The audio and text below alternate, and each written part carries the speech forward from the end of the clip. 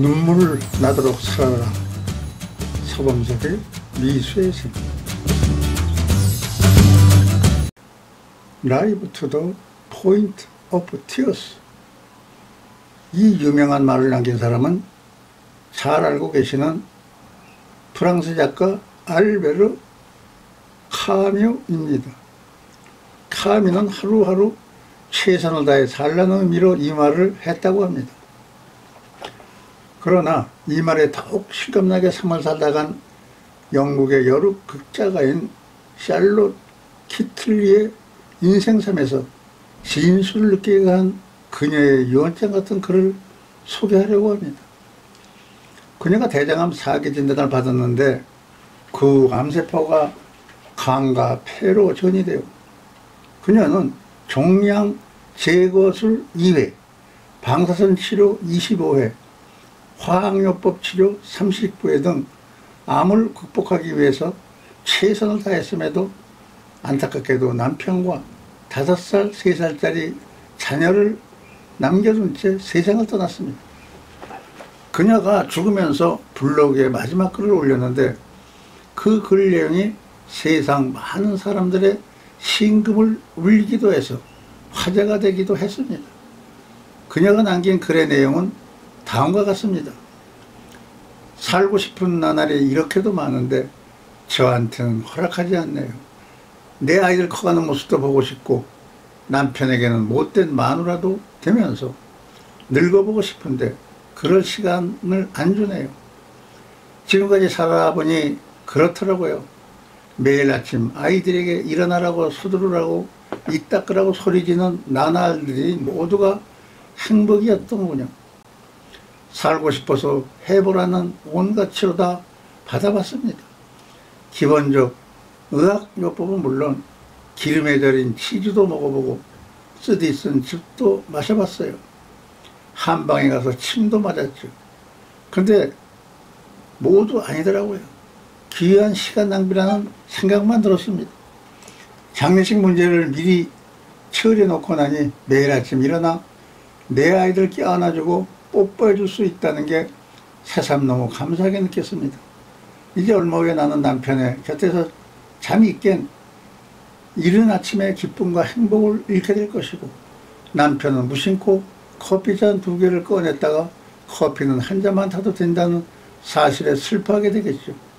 딸아이 머리 따줘야 하는데 이를 누가 아들 녀석이 가지고 놀던 레고의 어느 한 조각이 어디에 굴러 들어가 있는지는 나만 아는데 그건 이제 누가 찾아줄까요?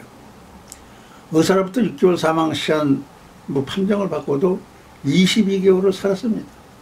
그렇게 1년 넘게 더 보너스를 얻은 덕분에 아이의 초등학교 입학 첫날 학교에 데려다주는 기쁨을 가슴에 품고 떠나갈 수 있게 됐어요. 아이의 흔들거리던 이가 빠져 그 기념으로 자전거를 사주러 갔을 때는 정말 행복했었습니다. 이것 또한 감사한 일이 아닐 수 없었습니다. 보너스 1년 덕분에 30대 중반이 아니라 30대 후반까지 살다 가니 감사합니다. 감사한 일이 한두 가지가 아니랍니다. 중년의 복부 비만 같은 거, 늘어나는 허리둘레 같은 거, 그거 한번 가져봤으면 좋겠어요. 그만큼 살아남는다는 얘기지 않습니까? 저는 한번 늙어보고 싶었어요. 부디 삶을 즐기면서 사시기 바랍니다. 두 손으로 삶을 꼭 붙드시기 바랍니다. 샤롯 카틀리 기타는 그네 한마디 한마디가 가슴속 깊숙한 곳까지 닿는 말이 아닐 수 없습니다. 우리는 아침에 잠이 깨면 매일 별 생각 없이 하루를 맞이할 때가 많습니다. 우리에게 주어진 하루를 당연하게 생각하며 어제도 그제도 그랬듯이 하루를 대충대충 보낼 때가 많습니다. 그러나 매일매일 맞이하는 오늘 하루, 그 하루가 말씀입니다. 어제 죽어간 사람들에게는 그토록 그리워했던 그 내일이었고 그들이 고대하고 누리고 싶었던 하루였음을 유념하시며 살아가시면 어떻겠습니까?